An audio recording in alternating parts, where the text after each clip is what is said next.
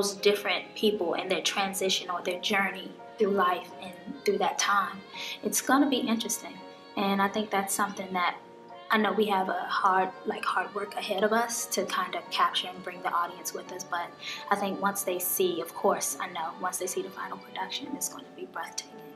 It's home. I'm excited.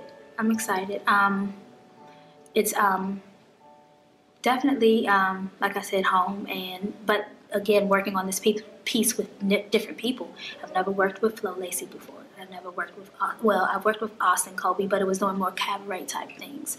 Um, so to be in a production with him, and Chris Mueller, never, he, um, he photographed me, but never did a show with him as well.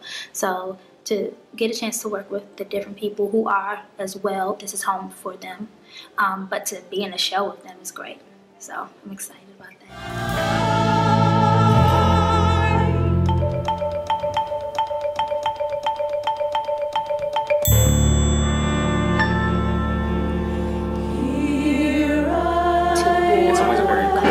Experience where you director, so that book writer, you are comfortable on stage, but also portraying the work. And that was in the best place to, to try to happily crossing won't be too much of the dancing thing.